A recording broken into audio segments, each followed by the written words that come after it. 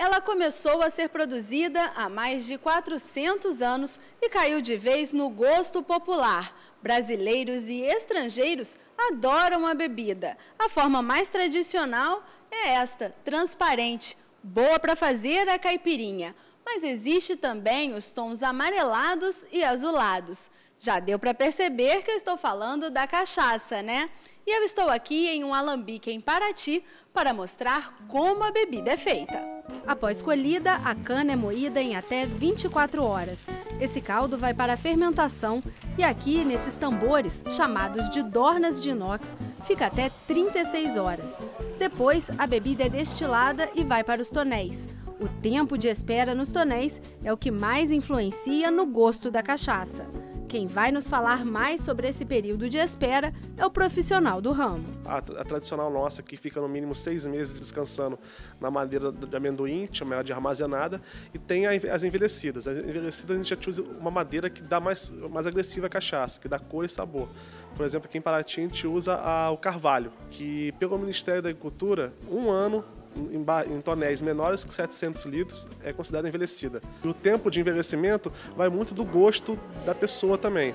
Nós aqui, pelos nossos barris, né, nós deixamos de 2 a 3 anos envelhecendo.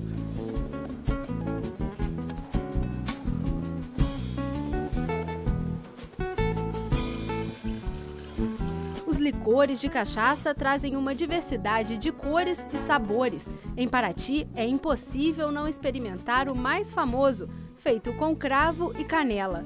Mas também encontramos com ervas, com tangerina e até com banana.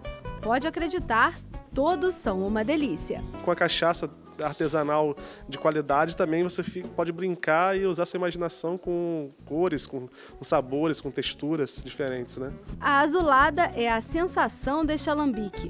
O tom não é um azul forte, mas é possível ver a diferença quando a colocamos próxima da transparente. Na hora da destilação, a gente coloca folha de tangerina junto com caldo dentro do alambique, a gente destila e ela sai com um tom azul. A cidade tem sete alambiques. A cachaça produzida em Paraty ganhou até selo de indicação geográfica, mas esta em especial é a única do Brasil a ter o selo de excelência cedido pelo Ministério da Agricultura. Tomando uma cachaça dessa, tá tomando uma cachaça com qualidade e também não é só uma simples cachaça, uma cachaça que tem história, cultura, essa parte toda que, que, que tudo que tem aqui em Paraty, né?